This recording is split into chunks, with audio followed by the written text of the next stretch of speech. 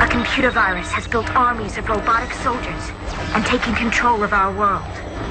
But there is still one place we can be safe. The domed city of Corinth. And the only hope we have left is...